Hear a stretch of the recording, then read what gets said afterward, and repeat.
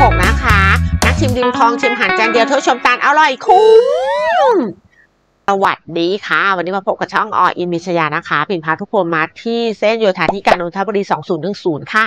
ซึ่งเป็นเส้นที่วิ่งเรียบคลองขุนมหาดไทยนะคะ หรือวิ่งคู่ขนานกับเส้นถนนราชพฤกษ์ค่ะ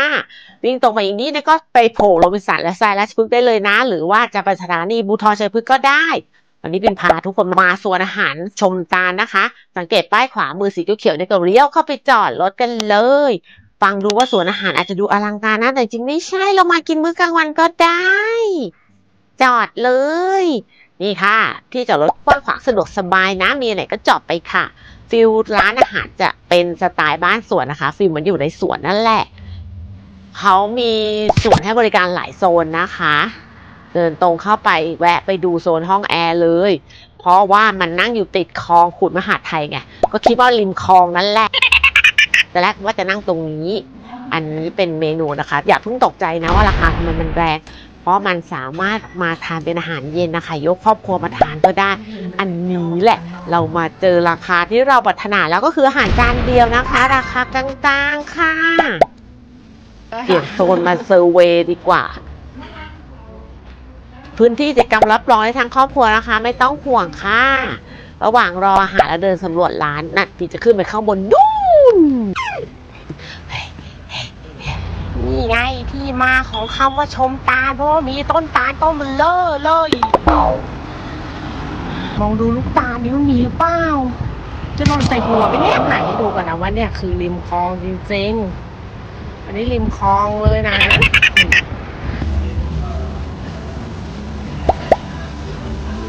วันนี้สมาชิกของดิฉันนั่งริมคลองโซน open air นะคะนั่งติดบึง แต่งสวนเขาเป็นตรงนี้เป็นบึงแล้วจะมีเสียงน้ำพุไหลบรรยากาศร่มรื่นจริง ๆ ค่ะลมพัดเอื่อยๆเพลินมากเลยของร้านบอกว่า เป็นร้านกาแฟเพิ่งเปิดใหม่ แต่วันนี้เรามาทานข้าวกลางวันเนาะใช่เป็นห้องจัดเลี้ยงแบบมินิมอลนะคะ แล้วตรงนู้นก็เป็นห้องน้ำเข้าได้สองทางทางที่เป็นจอดรถเมื่อกี้แล้วก็ทางตรงนี้อีก อ๋อ ตรงนั้นไง ร้านกาแฟที่เขาว่าเปิดใหม่อ๋ออยู่ใกล้กันเป็นต้นมะขามสวยจังเอาใหม่เมนูแรกมาถึงแล้ว อันนี้ยำวุ้นเส้นโบราณนะ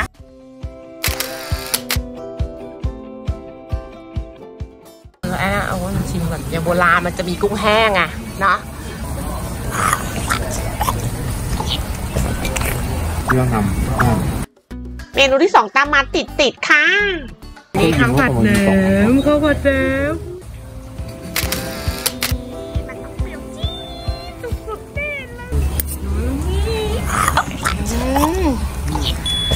ไงพี่น้องก็ข้าวผัดแหนมอะเนาะเมนูที่สามพริกแกงไก่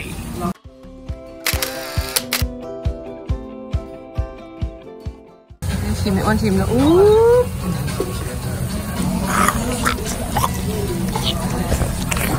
กลมกลมๆสามรสกลมกล่อมนี่แหละกลมกล่อมทุกร้านเลยนะ เมนูที่สี่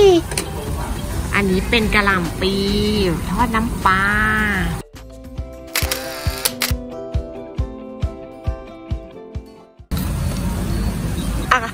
พริกเอลซีเอซี อืม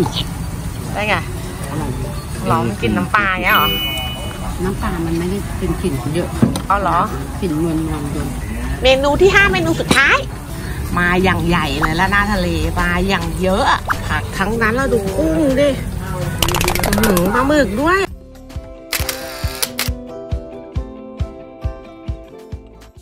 อันนี้ของพี่เนงไปชิมก่อนว่าน้ำมันเป็นยังไงอะ